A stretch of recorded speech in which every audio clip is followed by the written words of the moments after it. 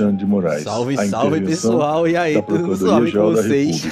ou da Procuradoria o Geral tá não, vai Gonei, PGR, tá ligado? Paulo Gonei Branco. Para ele já deu os papos, mo, vai. Que Xandão agiu assertividade, saca só. Que... O Procurador-Geral da República, Paulo Gonet, também, em nome do Ministério Público, também reforçou a confiança e a lisura dos atos praticados pelo ministro Alexandre de Moraes.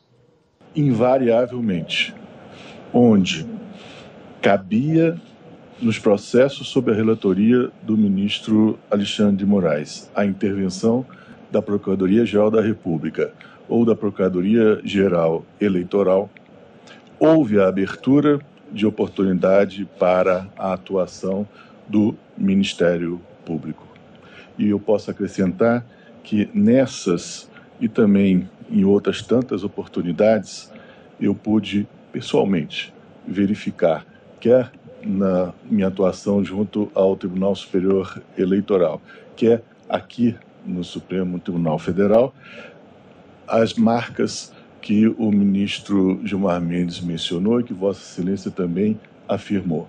As marcas de coragem, diligência, assertividade e retidão nas manifestações, nas decisões e na modo de conduzir o processo do ministro Alexandre de Moraes.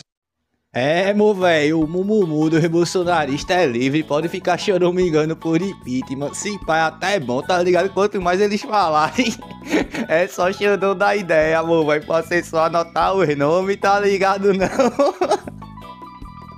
E já vou encerrando os vídeos por aqui. Peço que se inscreva no canal se não for inscrito. Aperta no like e deixa comentário aí pra ajudar nós em engajamento. Pode comentar qualquer coisa, tá ligado não? Na dúvida, deixa um sem anistia aí que o gato já fica nervosinho. que venha muito churrasco pra nós, meu velho. Fogo no gado, papai. Inscreva-se, curta e compartilhe. E se possível, manda um pix. Estou precisando muito e só o Bolsonaro que não precisa recebeu. Até a próxima!